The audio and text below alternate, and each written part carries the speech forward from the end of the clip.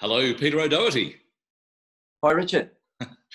Look, welcome. Um, and your exhibition, uh, which is The Distance Between Us, is on at King Street Gallery on William um, in Sydney. Surely you couldn't possibly have known when you decided on that title for an exhibition, presumably quite some time ago, just how much the distance between us is going to mean at this time. I was making use of the word irony, I think, without even having any clue what was coming. But yeah, a lot of people have been saying, "Oh, how Precy interview?" And uh, so yes, I might be able to get a job as a clairvoyant because there's not many jobs as artists left now that we've got the coronavirus uh, taking over. Yeah, but yeah, it was very unfortunate timing. With well, look for everyone. I don't feel at all um, different for every everybody I talk to is basically caught up in this. It's like a giant wave that's just keeps on coming towards us as the tide rises, and um, this thing has just overtaken everything. So it was just as my show was about to start, I had a meeting with the with the guys at King Street, and we decided that well they they thought and I thought too that it was probably best to pull the opening at the time. There was a lot of every day was the new you know news coming through that uh, it was getting worse and worse, and things were getting closed down, and we people were thinking about social distancing a lot, and which had been, you know, this thing happened probably a month or two ago. Everything felt virtually normal. Not really. We were still talking about it five, six weeks ago, but uh, just the week before my show, that every day was more is sort of startling news. And we so we decided to not have an opening. Can't really have people um, in the same room together. So the distance between us certainly did have some resonance and has been resonating more and more. It's, it's like dropping a stone into a pool. I'm just watching the, the ripple effect. Mm. Um, so coming towards the last week or so now of the show, so it's very good of you to, to you know, to have some interest and, and, and have a chat with me. Well, look, it's a pleasure. I mean, and it is, of course, a great shame that uh, that this is the new normal. But perhaps mm. it also provides opportunities. And here we are talking in our respective homes, talking to each other, um, you know, on our phones or our, our laptops. Uh, and I guess the idea is that people can listen to this conversation, but at the same time, perhaps be on the gallery website looking at the exhibition uh, and looking at the works so that while you uh, and I have a discussion yeah. about them, people can actually yeah. look at what it is that that uh, that we're talking about. Um, yeah, no, absolutely. One of the things we should uh, start with right at the beginning of the of the exhibition is the the buildings uh, and and the complex um, abstract grids that you have created with uh, many for many years now, but uh, with works mm. from mm. some of the pieces in the exhibitions. Um, there are some some very large ones uh, overlooking Garden Island or white balconies. They're positively monumental. What's the attraction of those abstract construction grids for you?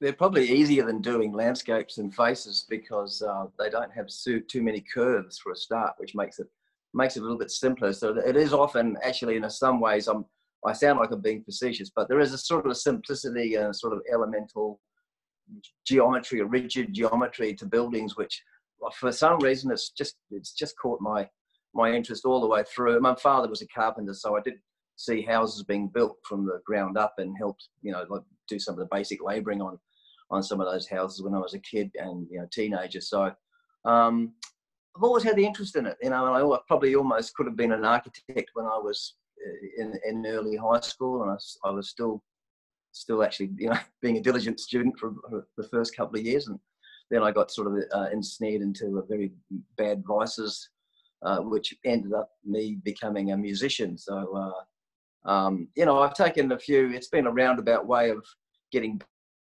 back to being a, uh, mean, I was always an artist, always, uh, well, not an artist, but I was always drawing and, and loved art as a kid. So I didn't go to art school, didn't, haven't had any formal training, but after playing music for you know, quite a few years with Mental as Anything and touring a lot uh, and being in a band with other uh, arts, they were all art students apart from myself. So there was that milieu and atmosphere around me, and we always had a, common interest in art. So when we toured, we would always make sure we'd go to art museums everywhere we went. So that was pretty good. I got to see lots of great things, especially when we were travelling overseas and, and all around Australia and New Zealand. And Um, the, and then when I got married, uh, my wife Susan and myself both just started painting together. It was just something we could do at home, and uh, we both had a really basic elemental interest in that. And she was untrained as well, so we just we never stopped. Once we got some paints and some paper, and then advanced into canvases, it never stopped. And I took my my sort of my knowledge about house building, I suppose, into the painting. So the houses have have kind of um, been a central part of what I love to do. For some reason, I still, I mean, I still drive around the, you know, the suburbs where I live, and I see houses all the time that I that I'm commonly, I'm, I'm, taking a lot of photographs as I every day I go out. I'm taking photographs, collecting information, collecting uh, source material for for new paintings. So uh, it's an endless thing, and in a, in a way, it's good because it's it just means I'm just wrestling with the challenges of what painting is, is, is is you know color and form and composition. It seems like very sort of simple, elemental collection of things that make up a painting, and I'm still interested in how that is, almost like through a childlike eye. So maybe looking at buildings and the and the, the built world, the urban constructed world, uh, is part of that childlike view of you know just being amazed at what humans can do. So you've been you know, you've been very committed though for quite a number of years now to uh, the painting of often some very humble types of uh, of houses and dwellings, as well as these larger, as we said, almost abstracted, quite uh, modern monumental pieces. Um, things like the the little tiny work uh, called Front Door. Uh, in the exhibition, and perhaps if people are looking, they can have a look at that uh, that image on the website now. Uh, that's a mm. tiny piece, 25 centimeters by 25 centimeters, and yet there is a, a, compositional strength in that that you responded to in some way. Yeah, well, I, I, I sort of like playing with the scale of the actual format. So, like painting small is is good because it means you can do something quickly and often in one or two sittings. Whereas the bigger you get, the longer it takes and the more labour goes into it. And so sometimes the small ones have that loose uh, early rendition, the, the first or second draft, which you capture uh, something in that. And if you're doing a bigger painting, it's harder for me to, to ever get that first or second draft to be the one that comes anywhere close to what the finished painting ends up as. So the bigger they get, the, the just the more more of it. So it's, it's a bit like building a house, or you know, you say you'd spend can spend weeks on them. Uh, there's a, a, a, larger work, Balgala Bungalow, uh, which um, clearly you still have that sense of affection in the way in which you portray it. Um, so, give us a sense when you see a house, uh, and this presumably is one that you must have seen and, and decided to hmm. paint. When you, de- when you do see a house, what draws you to decide that okay, that is the one that I will make into a book? Um, often something to do with probably the time of the day, the light, um, and then the angles and the general composition. And uh, look, a lot of the time I'm traveling. The great thing about having a, a, the iPhones that we all carry is that they've got good cameras, so you can take photographs really quickly. So I can, I don't have to sit and do a drawing, you know, in front of the house, which is often better not to do that anyway because otherwise people will call the police. So I'd rather not have you know make trouble. Sometimes people look very suspiciously at me as I'm photographing their houses. So and a bit nervous, and uh, so I you know I, I do it quickly and then move on. But but I, I usually see something often, and then I just distill something out of the photograph down to the most basic thing and and remove. There's a lot of it's about deleting, so taking out extraneous, uh, you know, things like telephone, uh, telegraph wires or telephone poles or or too many shrubs in the garden. I like to sort of simplify it. And some people do those beautiful, neat gardens where you can't believe that they've not grown anything there. It's just a bit of lawn, very cleanly cut right up to the edge of the house. And it's, so those sort of houses are always like, it's almost like a painting, you know, before you even start. So sometimes it's easy and sometimes I have to sort of work a bit harder to, to draw something out. Going back to uh, the, the title of the exhibition overall, The Distance between us, one of the things that's very apparent as we have a look at the houses, um, the larger buildings, in fact, all of the paintings, there are no hmm. people. Why not? No. Well, people are annoying. Richard. not you, not you. I'm annoying. I know that, but you only got to talk to my wife Susan, and she'll say people are annoying. she spends a lot of time. We spend a lot of time together in the in the house. Uh, we've got a studio house or house studio. It's kind of all turned into every room really is part of the the, studio. So. Um, but, but, there is a, there is a certain sort of starkness, a so a, yeah, what feels like a deliberate starkness um, that you've chosen. A lot of people paint paint people, you know. So in a way, I like to sort of um, differentiate myself by not doing that. I, I have done in the past. I, when I first earlier, you know, in earlier years, I was painting, putting people into the paintings, and then they become more to me. It's more. Uh, it's more pictorial. It's more. Um, uh, yeah, about you know recording a, uh, um, almost like a family photograph or something. And, I, am so I'm taking it away from that. I'm trying to make it something that's completely almost an abstract thing in, in, in, its own right. So if you take the people out and take a lot of other extraneous elements out, somehow turns it into something else anyway. So um, you know, and again, if you to do people in there, it just makes it a bit more narrative based or something. And I don't want but there if, to be any narrative. I want it to have its own sense of atmosphere. But if there were people in there, perhaps you wouldn't be inviting people so much to look really closely at the at the objects, these these houses, these buildings. No. In some of the other paintings, which we'll talk about in a moment, you know, domestic utensils, uh, areas inside a, a, house or a building. You seem yeah. to be inviting people to look really carefully at these objects and these surfaces.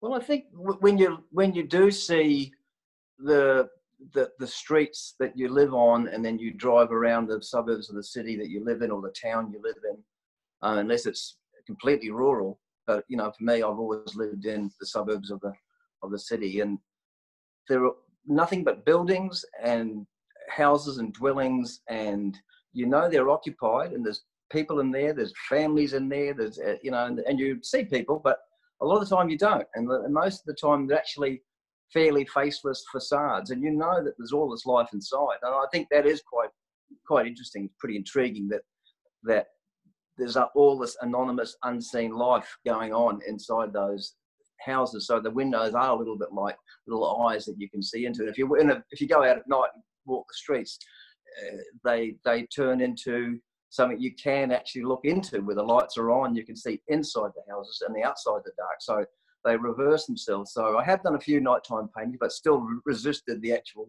occupants. you know, maybe the odd silhouette or something, but but you know, it's just interesting. It's interesting how we live, you know, as humans. You know, like we're like this nest of nest of humans. Like we're almost like a plague species now. I mean, look at the, the situation now with the coronavirus and climate change, and you know, we're really in a kind of pivotal, dramatic time in human existence. I think, and and and the, the planet's kind of probably um, rebelling a bit, and as it should.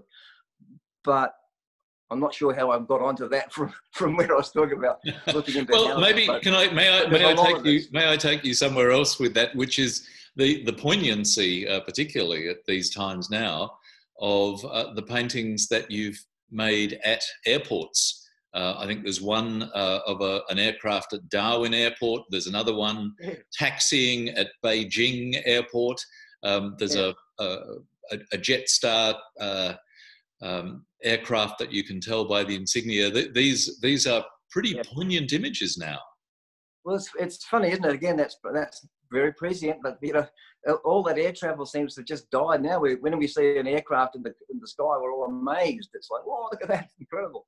So it's just cha- everything's changed from last year to now, and I and I've always had an interest again in things like aircraft because I still can't quite believe that you know humans are, are smart enough to to build those things and make them fly. And then we all go, you know, climb inside them and travel around in them. It's, it's pretty incredible. So a lot of it, I think, is my sense of wonderment. Is it's like a child's eye. I mean, I to, when I was a kid, I used to love drawing space rockets and you know make up things. And, and you know, I love the Thunderbirds and all those kind of shows with aircraft and and um, you know science fiction films. And to me, it's like we're we're living in the future. We are in the future now. You know, we have been for quite a long time in this modern world that we live in. Um, who knows how long it's going to last for, in that's current kind of form. Who knows? But but I, maybe painting them as something I'm painting. I'm, I'm recording something that may not always be around that much. Mm. Something that has been around for a while uh, has been a particularly identifying painting style that you've had uh, using the paint that you do with a, a, certain kind of blur, a certain sort of haze over the mm-hmm. object so that one is not sure exactly where the hard edge of the object is or even whether a hard edge exists. How did you develop that and, and why has that become such an important signature for you? Well, um, looking at you on this machine that we're looking at each other on now, I can't see any edges to you, Richard. You're just one big blurry, fuzzy person with a voice coming out of the blur. So I look at me, I can I can joke about my eyesight, you know, sort of, you know, deteriorating as we all have.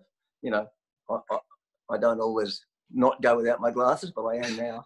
Um, oh, it, it's just a stylistic thing that that developed, and you know, you you try to find your own signature. I think when you're doing making art or same being a musician and I, I write songs. I think it's the same, very much the same thing. Just looking for something that feels true to you, you know. And I think something that soft thing just sort of developed. Like, and I was never really a conscious thing. It was just oh that felt like suddenly it was there. You know, early on I was painting very hard edged, um, sharp, delineated, you know, objects, but just somehow the the the blurring. It's a bit like when you see a black and white photograph, uh, you know, from the 1930s or 40s, or even from now, but a, it takes it into uh, somehow another realm, and it takes it away from the narrative to the more literal version of what you're looking at. So I guess the edges blurring just means everything kind of morphs into itself, which is part of the physics of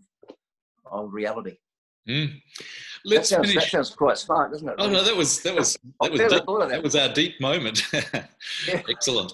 Um, let's finish up with uh, let's finish up with some sinks uh, because you've painted some uh, superb sinks for this exhibition. Um, again, not the the choice that one would necessarily expect if one just looked at very large buildings and large building facades. But with these no. very intimate pictures, you've taken us into a series of hotel sinks. How mm. did you decide on the sinks that you were choosing? I've done a few sinks over the over the years, and um, I've done the kitchen sink a few times. You know, the kitchen sink painting, which is a school of painting, but not that again, that wasn't like a conscious thing. But uh, I've done the you know just messy sink, my own sink. Where we our dishwasher we've only ever had a dishwasher that lasted about six months, and and uh, that one packed up, and so we're back to always having a sink full of dirty dishes, which you know we try and resist.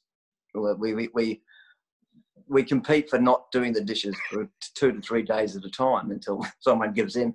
But uh, that that can make a good painting. But the empty sink somehow is also it's got that a little bit like the the facade of a house. It's just this the statuesque form, you know, with, with and the good thing about sink too is it has um, rounded, rounded, almost you could say like sensuous sort of edges and, and and shapes and forms and the shadows pull in different ways to that than they do on a on a flat surface of a of a constructed um, uh, building. So so I just yeah, they're just the good things in the tiling and the, in the light and the shadow within a room. Um, it's all just part of again just assembling things to make a composition, and and I just I like that uh, that simple arrangement of, of, a very basic empty sink, which is a quite a beautiful thing, really. it is indeed. Peter O'Doherty, thank you for sharing your exhibition. Oh, thanks, Richard. Thanks for talking to me.